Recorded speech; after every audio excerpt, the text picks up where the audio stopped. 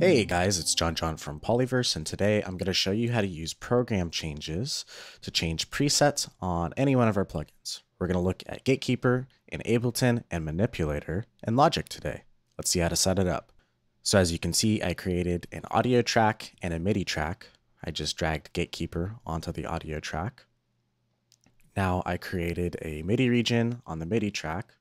We'll go over to the MIDI's output and route that to the audio track with Gatekeeper. Let's click back on that MIDI region. And as you can see over here in envelopes, I have controller, and then we have channel 119 for control. Now we should be able to draw with our pen tool, or you can create nodes, and that's going to change presets. So let's listen to this example I did where I used program changes to change presets with Gatekeeper on a bass track.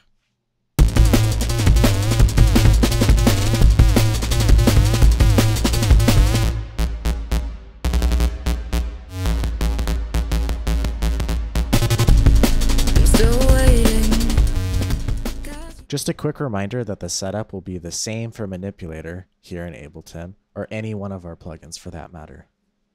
All right, now let's hop into Logic and we'll figure out how to set it up there.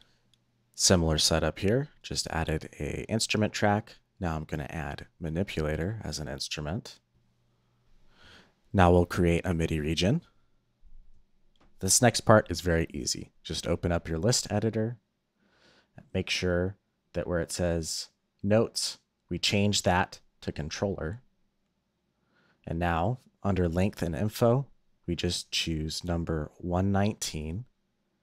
And now we can use velocity to change presets. Simple as that. Anytime you want to set a point to change presets, just click that plus symbol wherever your playhead is and you're good to go.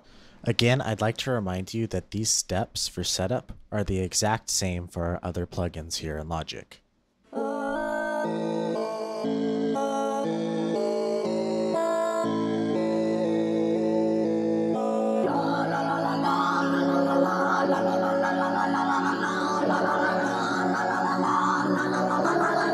Thanks for watching this video. Hopefully you found something useful here. And as always, have fun and experiment.